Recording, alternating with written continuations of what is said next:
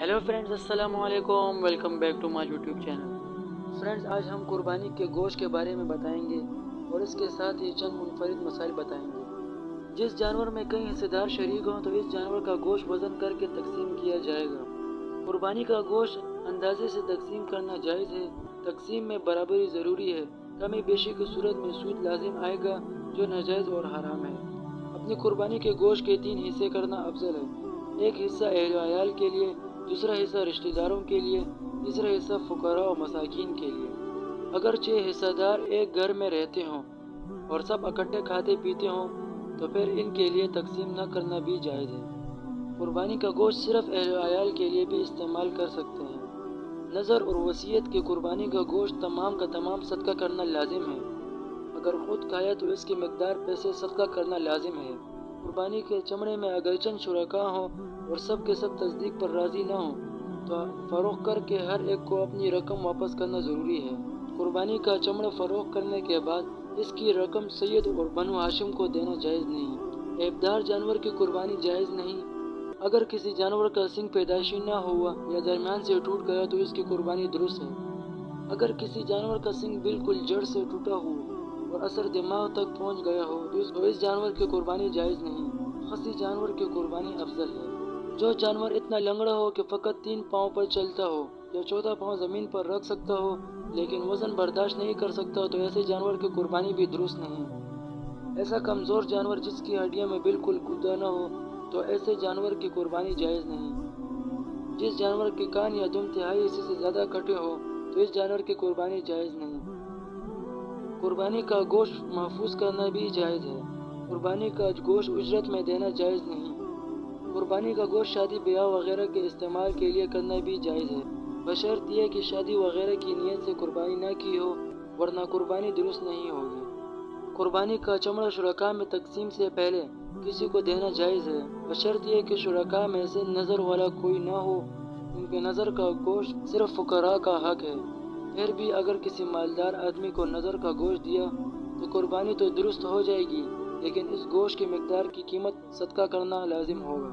कुर्बानी का चमड़ा दीनी मदरसे के तलबा पर खर्च करना अफजल है और यह बेहतरीन मशरफ है। कुर्बानी का चमड़ा गरीब मसाकिन, मालदार और सबको देना जायज़ है, क्योंकि चमड़ा भी गोश्त की तरह होता है। अलबत् अपनी कुर्बानी का चमड़ा फ़रोग करने के बाद इसकी रकम सदका करना ज़रूरी है। कुर्बानी का चमड़ा अपनी ज़्यादा इस्तेमाल में लाना जायज़ और दुरुस्त है। अपने कुर्बानी का चमड़ा फ़रोख करके पैसे सदका करना ज़रूरी है। कुर्बानी का चमड़ा कसाई को उजरत में देना जायज़ नहीं। कसाई को अलहदा उजरत देना चाहिए, क्योंकि नबी करीम सल्लल्लाहु अलैहि वसल्लम खुद कसाई को अपनी तरफ़ से उजरत अदा की थी। इमाम मस्जिद को कुर्बानी का चमड़ा हदिया करना जायज़ है। कुर्बानी के चमड़े की रकम का हुक्म जक़ात की तरह है। इसे फ़कीर और गरीब को मालिक बनाना ज़रूरी है। कुर्बानी के चमड़े की रकम से मस्जिद की तामीर वगैरह में सर्फ करना जायज़ नहीं। अगर किसी फ़कीर आदमी ने कुर्बानी के लिए जानवर ख़रीदा और कुर्बानी से पहले वो जानवर एबदार हो गया तो फ़कीर के लिए दूसरा जानवर कुर्बानी करना ज़रूरी नहीं, बस इस जानवर की कुर्बानी करेगा। अगर ज़बह के दौरान जानवर में कोई ऐप पैदा हो जाए, मसलन टांग टूट गई हो वगैरह वगैरह तो इसमें कोई हरज नहीं, इसकी कुर्बानी दुरुस्त होगी। अगर ज़बह करने वाले के साथ कोई चूरी चलाने में शरीक हुआ तो इस पर भी बिस्मिल्लाह अकबर कहना वाजिब है, वरना जानवर हराम हो जाएगा। गाय, भैंस, बकरी, दुम्बा वगैरह में ज़िबा सुन्नत है, जबकि ऊन में नहर सुन्नत है। फार्मी गाय वगैरह की कुर्बानी दुरुस्त है।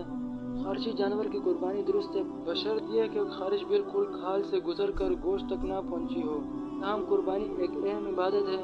अच्छा मोटा जानवर कुर्बानी करना अफजल है। घर में पाले हुए जानवर की कुर्बानी दुरुस्त है। कुर्बानी के जानवर की रस्सी सदका करना मुस्तहब है। नैस खुद भी इस्तेमाल कर सकते हैं। अगर बड़े जानवर के चार थन में से दो खराब हो तो कुर्बानी दुरुस्त नहीं होगी। बकरी और भेड़ के दो थन में से एक थन खराब हो जाए तो कुर्बानी दुरुस्त नहीं होगी। हलाल जानवर के साथ अज्जा हराम है। बहने वाले खून, पेशाब की जगह, खसे, पखाने की जगह, सख्त गोश्त, मसाना। हराम माल वाले के साथ कुर्बानी दुरुस्त नहीं। अलबत् अगर कुछ हलाल आमदन हो तो इस हलाल आमदन से कुर्बानी करे तो इस पर कोई मजायका नहीं। कुर्बानी के आयाम में कुर्बानी की जगह खैरात को सदका करने से कुर्बानी का वजब अदा नहीं होगा। अगर कुर्बानी नहीं की तो वो शख्स इंदल्ला मुजरम होगा। जो शख्स बैरून मुल्क में हो, कुर्बानी अपने वतन में करना चाहता हो तो दोनों के लिए इश्तरा के वक्त, यानी एक वक्त का होना ज़रूरी है। अगर कोई शख्स मकरूज हो और इसके पास इतनी रकम नहीं जिससे कर अदा हो तो इसके ज़िम्मा कुर्बानी वाजिब नहीं, बल्कि कर्ज अदा करना ज़रूरी है।